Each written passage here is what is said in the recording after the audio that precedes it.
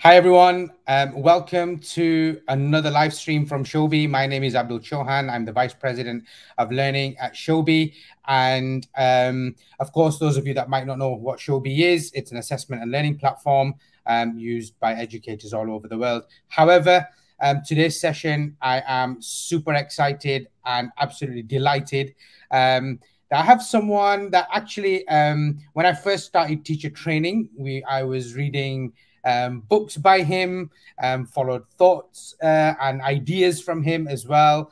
Um, and certainly in the school um, that I co founded, um, you know, Andy's books have kind of been on the shelf there as well. So I am super pleased to kind of um, have um, Professor Andy Hargreaves um, with us today.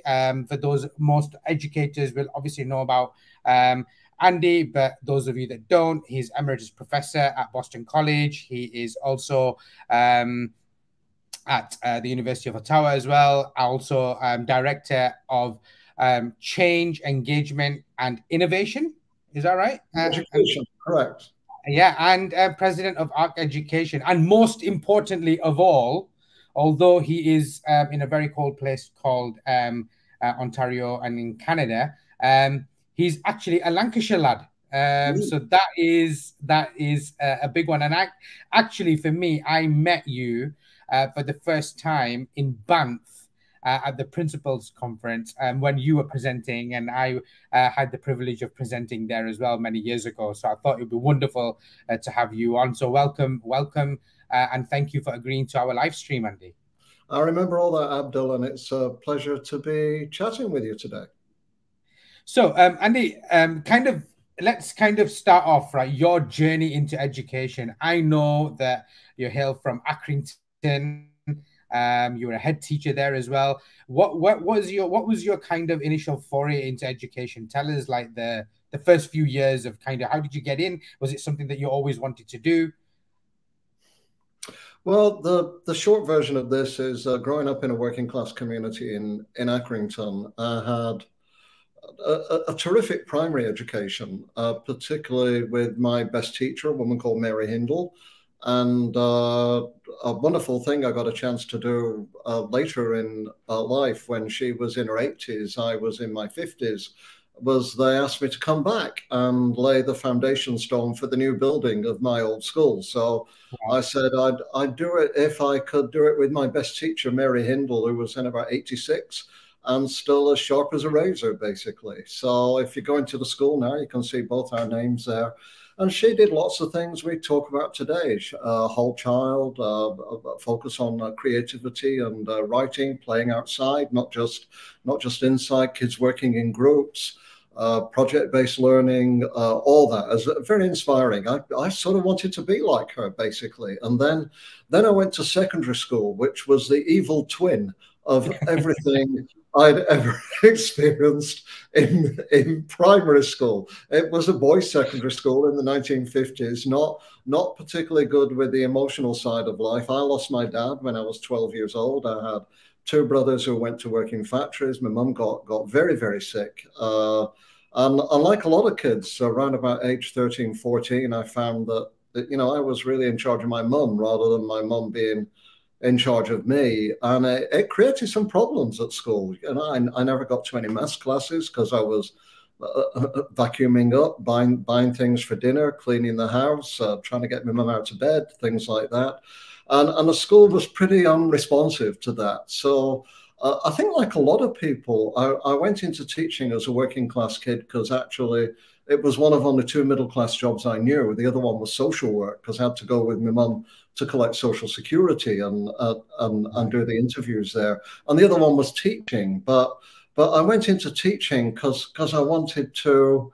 I actually, from the very beginning, wanted to go into teacher training and and bring out bring out the best in teachers of the best teacher I'd had and avoid the worst of, of the worst teachers I'd, I'd had at the same time. So that that's how I kind of got started. I taught in primary school, then uh, I went off and did um, did a PhD in uh, in Leeds. I did the first study of English middle schools uh, ever. They don't exist now. Looks like no. I helped to kill them off, uh, but uh, not far from Bradford. Uh, actually, was was where I did the work. And then, uh, you know, I worked in um, various places in England. I'd, I'd, say one of the key ones was in uh, the Open University. We had no students except uh, except at a distance. So I learned how to engage students who you couldn't see, which has been very helpful during during the pandemic. Um, and at Oxford, uh, we worked, our department worked a lot with Tim Brighouse in his early years.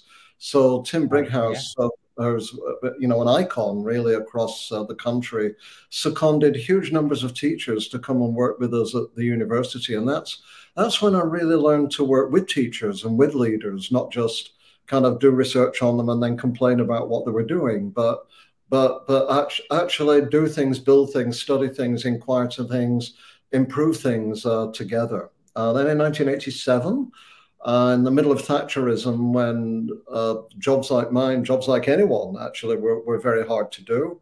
I already had two brothers in Canada, so both my brothers, they'd emigrated. And so we moved to Canada to the Ontario Institute of Education uh, in Toronto. Uh, there I met Michael Fullan. Uh, I got involved uh, even before I started working with Michael in looking at uh, teacher collaboration and the power of collaborative cultures. And that that's driven a lot of my work ever since, I would say.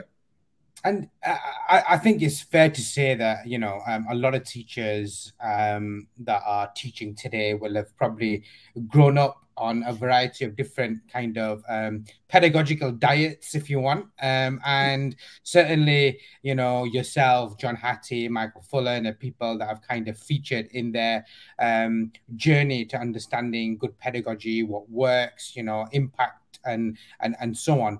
Um, what what would you say, uh, Andy, is kind of like, um, I suppose, that the key things for a good education system yeah? And i know that's kind of like massive right? But um you know um like i'm, I'm kind of looking at not just necessarily um um countries like the uk and the us and canada but generally yeah. speaking if we're looking at a good learning experience um what what does that dna what does that kind of look like yeah, that, that, that's a great uh, question, Abdul, and that that is the million dollar question for for everybody. And there's a few cliches uh, to answer it, but but I think the first clear way to start with is what it's not. You know, and it, it should not be just about basic literacy and maths and preparing for the tests and the SATs that we've got that we've got in England in in particular, and then onto exams and the GCSEs and finding out how many grades A to C you've got, and and, and having that whole thing drive the system with a top-down bureaucracy. But rather, first of all, I think is um, when I was in primary school, they they did. Um, I have access to old inspection reports uh, yeah. for, for the for the time I was in the school, and and the inspection reports talk about things like the quality of the children's writing, um, the the beauty of the nature table, the the experience that, that, that kids were having in school. And at that time, in 1967, not long after, there was a report which is famous called the Plowden Report, which is about children in primary schools. And, and one of the things it said was it had a great paragraph saying, in the future, our kids will need to be, they'll need to be diverse and tolerant, they'll need to be good citizens, they'll need to be uh, changed jobs many times in their lifetime. They were saying this in 1967. And uh, but it said, but the main thing is is to treat children as children now, and and actually educate them as children to feel happy, not happy all the time, but but for challenged, uh, fulfilled, uh, learn learn something new, have good relationships with with the peers, uh, with with their teacher, uh, feel part of something bigger than themselves, however you can define that. And, and, and if you treat the child well as a child, that is the best way, they said, to create citizens for uh, the future. And so I, I, think sometimes we see, you know, here's here's a new book on well-being in schools uh, that my colleague Dennis Shirley and I have written. And sometimes we think, yeah, well-being is important, but really it's just there to back up the academic learning. And, and they're not. They're both they're both important in in their own right. Once you've got that as your goal, and many countries do. In in Colombia, the goals are peace and democracy. That, that, those are like not peripheral goals. Those are those are prime goals. If if you go to Norway after the uh, murders and tragedies of Anders uh, Breivik, who yeah. murdered scores of uh, young people, uh, but peace is peace is one of their. Uh, you, you, know, I've gone into Norwegian schools, and the first thing you see is the children singing outside about songs of songs of peace and belonging. They also have high standards. They also have have high achievement. These things are not competitive. Then what do you need in a system to enable that to happen? You need teachers who are passionate about what they do, who come in for it for the right for the right reasons, who are well trained who yeah. have like a university training and a practical training that Absolutely. brings it together, who know how to work, work together, who can uh, want to respond to the diversity of their kids. And in the old days when I was at school and all the kids were white like me in, in my school, that was cognitive diversity, which is still very important now. Uh, now it's other kinds. It's uh, racial, it's religious, it's a gender identity. It's um, in my country here, uh, it's indigenous identity, and so on. So uh, you you have to know how to. There's no magic formula. You can't learn in advance about every single culture there is. You just have to respond to the child uh, in in front of you. Learn what you can. Learn learn with them and, and tailor the learning so that it engages them. And then work with your colleagues, read a bit, look at the evidence. You don't have to master all of it, but kind of chuck that evidence in for all of you to, to deal with. And um, and and uh, have a you know if you're going to have an inspection system, it should check up on you a bit, but not too much. Is um, so just check up on you a bit, make sure nothing goes you know yeah. totally awry um, but but mainly just if you've got the right people and they can work together, let them get on with it. Absolutely, and I, I definitely kind of hear that. Certainly from the time when I was at school, and I think I think schools nowadays, especially with the type of diversity that you've uh, talked about, they are fantastic places for planned coincidences you know meeting people yeah. meeting different cultures quite i would probably say that you know children uh, have the opportunity to find out more about each other's cultures in in in schools and, and the kind of friendships and relationships that they have today that they would have done um, certainly in the past and and for me that's from a Showbie perspective that's been quite interesting because we've introduced like this audio feedback and video chat and so on and uh, you know that's something that we and we have this kind of like class discussion element and the ability oh. to continue conversations beyond the classroom and so on which is kind of hugely powerful. And I suppose we see that through a lot of social media, um, uh, continuing, you know, kind of beyond school hours and, and, and so on as well. Um, so, and in terms of like, um, you know, what what is it? What what is it that we kind of um, are getting wrong in many ways? Yeah, in education, right? Um, we've we've kind of got um, quite in in in in in in a I suppose, um, quite advanced systems in some ways. I know certainly in the UK, there's we have a, a lot of focus on evidence-based approaches to teaching, whether that's direct instruction, whether that's kind of looking at things like Rosenshine's principles and so on, and you know, uh, cognitive kind of development, memory learning, and so on. Um, so there's a lot of great things that are happening in education, and people are kind of getting. Um, uh, aware of that and you know trying to put that in practice and look at research and so on. Um, but but for me quite often it's all it's important also to look at those things that that shouldn't be happening or what things should we be removing rather than just continuing to to add things to the system. Yeah yeah. Well uh, this is a conversation teachers love to have. Um, providing they don't then have to go and do it, but which is, you know, all the things that are wrong and all the things we need to get rid of or or do less of. Uh, I, I, think at the top of the tree are a couple of things. One is clearly governments who don't care a lot about education or really don't care a lot or understand what education looks like for everybody, not just what education looks like if you used to go to Eton, uh, for example, which which most of the governments in the UK uh, the, the, the cabinet actually did. Um, so so we've seen during COVID, for example, if you compare Scotland, that I do a lot of work with. Uh, so I'm one of 10 advisors for Nicola Sturgeon on education in uh, Scotland.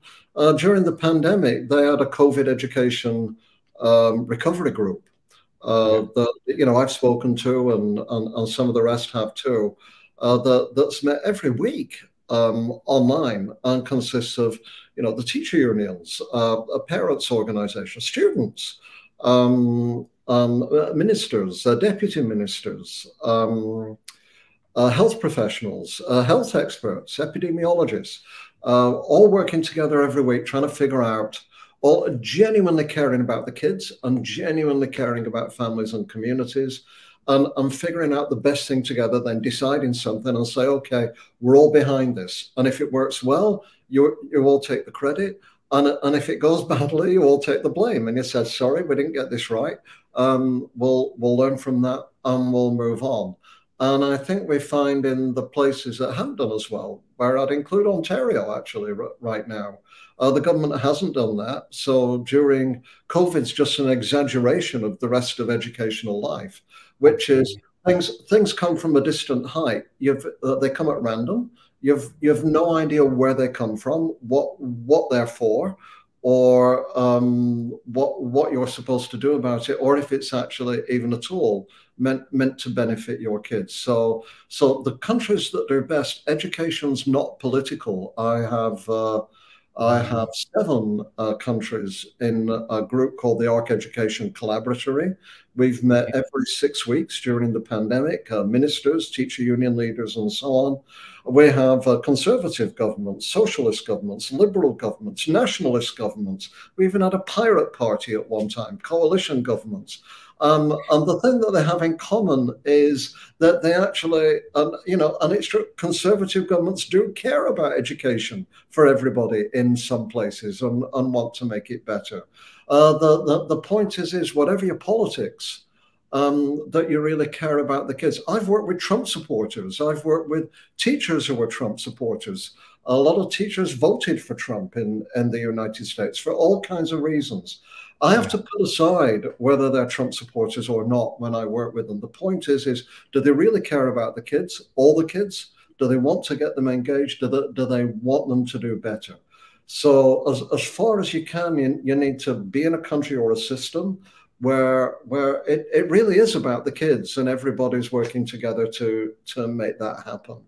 And and, and then there's there's like three other distractions to to get out the way. I think uh, one is um, one is too much high stakes testing, and uh, this is your business. This is what you're in, and uh, I think we're at a fantastic moment now, coming hopefully towards the end of COVID, where kids have uh, not been taking exams for two years. Kids have been going to university who might never have gone there before. Let's see how they do. Let's let's monitor. We know exams are a terrible predictor of, uh, of, of university performance. We've always felt we couldn't change them. Well, for two years, we've we've managed perfectly well without them. So, so let's take this huge opportunity with a digital because digital can give you algorithmic feedback on the simple stuff, uh, not on the writing. You know, I don't I don't want to pour my heart out for an algorithm, but yeah. but it but it but it will it will give you feedback on on the simple stuff and save teachers a lot of time. Um, you can take photographs, images, uh, samples yeah. of work. You can share it, yeah. share it with the kids, share it with parents, share it with each other. Uh. Much easier to develop moderated assessments. You can do that across schools. You don't all have to show up in the same school in order to do that. And and and COVID's increased collaboration wherever you are, anywhere in the world. So, mm. So I think we have a fantastic opportunity um, and uh, I'm involved in an OECD review starting uh, tomorrow of a country I can't name, uh, which really, uh, but not very far away, which really dramatically wants to change its uh, its assessment system.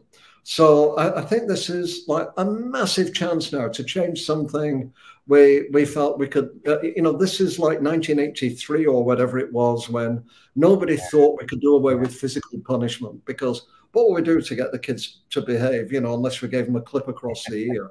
And then along came the yeah. European Union, and uh, we got rid of it, and you know, chaos and mayhem did not ensue. And I, I think we're yeah. at that we're at that kind of moment now. Uh, we, we certainly had that. We certainly had that experience um, working with schools in Glasgow. So the whole of Glasgow kind of uses Showbie. This was before yeah. the pandemic, and um, one of the schools that I was working with personally, um, you know, we kind of uh, launched a digital assessment system through Showbie, digital feedback, and so on. Like you said, photos, video, audio, everything can be uploaded, and so on. And what was fascinating was when I met the head teacher again two years later, um, and incidentally, I met Maureen McKenna there as well at the same time. And yeah, Maureen, I know.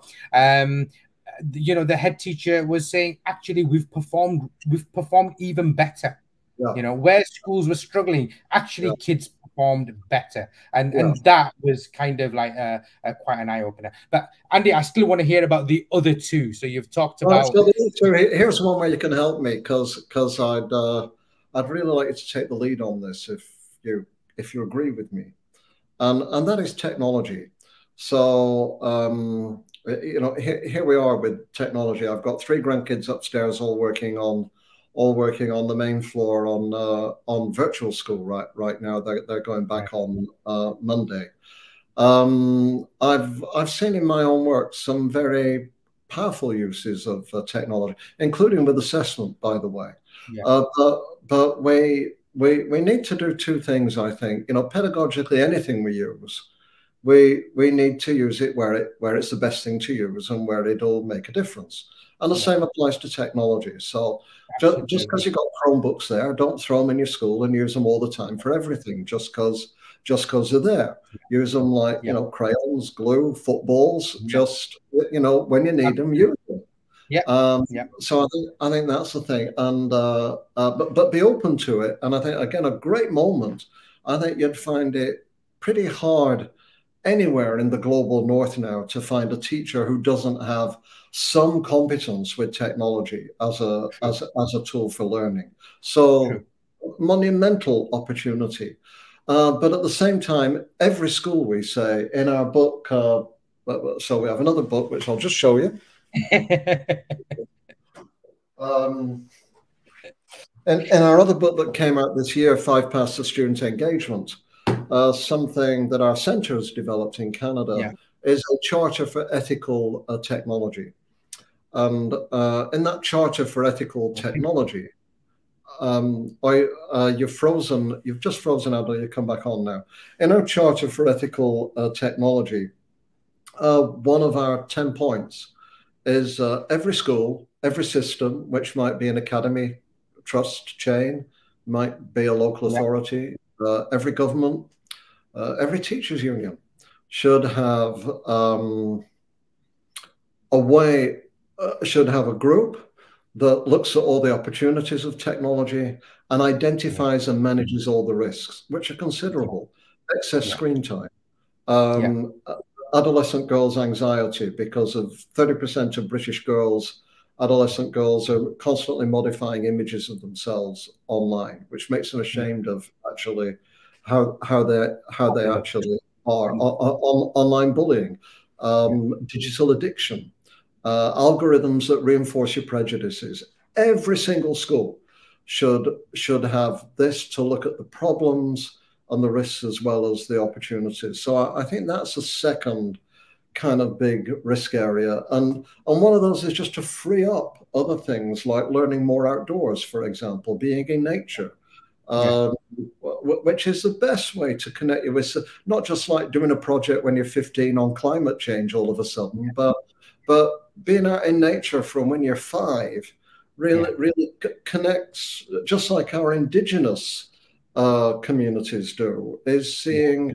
us and nature as being part of the same thing, not Absolutely. not totally separate from each other. And, and then the third one, which is a hard one, and I'll, we don't talk about this in the books, but I'll throw it out there is um, is parents, and um, you know, but no politician's gonna gonna ever uh, run a platform saying parents need to get their act together.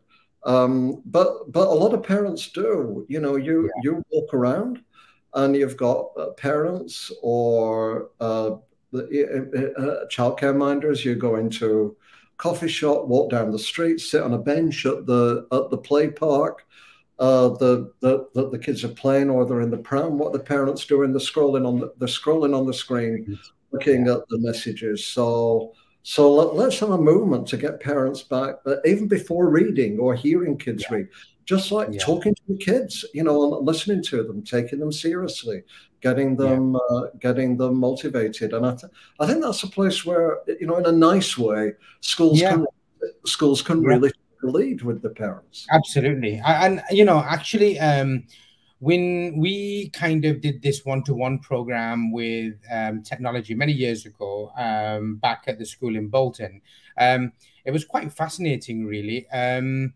social media probably wasn't out in this at the same level and the same strength as it is now. So there wasn't things like Instagram and so on.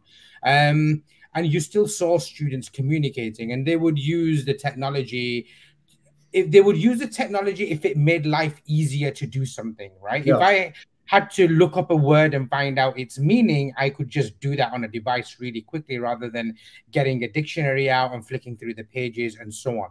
Mm-hmm. We had quite a diverse population, and we would definitely see kind of like students that would type, change the keyboard on their device into their local language yeah. typing the word in their local language, which might be Persian or whatever it was at the time. And then when they hit images, um, it would kind of show images of the object of the word that they typed in, yeah, and then they would use that to show the teacher that this is what I mean, kind of thing, and use that as a dictionary thing.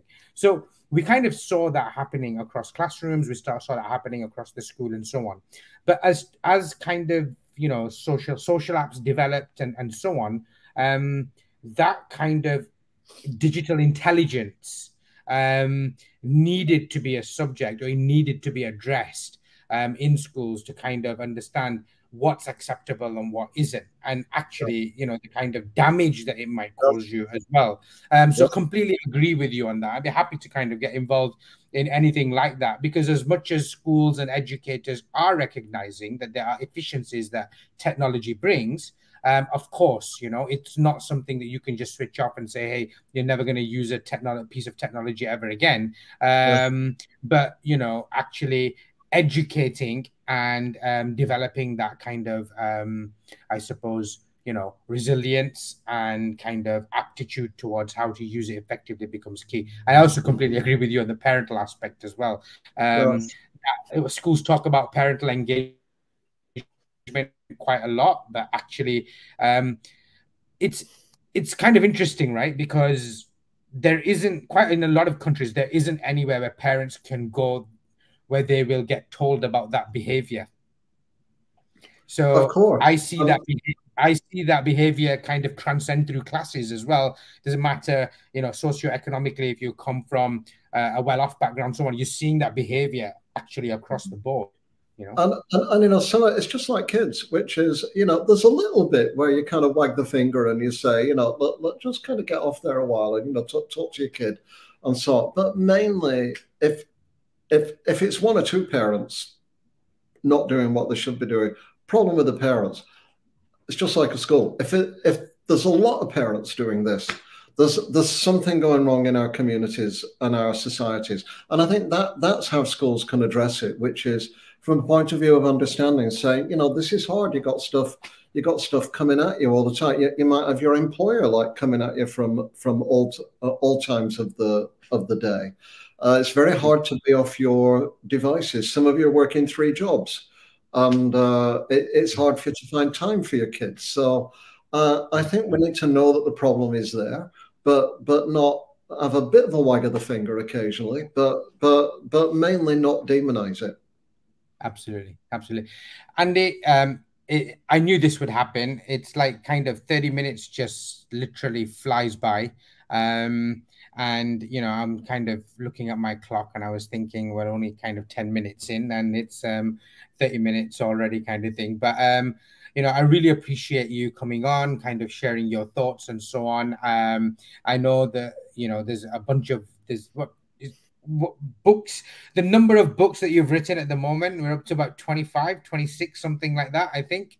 Um you know um but your latest one on the well-being element um certainly that's something that i will be interested in um, with respect to the the ongoing work that I'm doing as well. And I'd love to kind of, I suppose, in the future at some point, um, have you on again and tell us about you know the projects that you're doing and and so on as well. But I really appreciate you coming on and sharing your thoughts and opinions with us today. Thanks for this, Abdul, and uh, thanks for your leadership in education. It's a fantastic thing. Thank you very much. Thank you.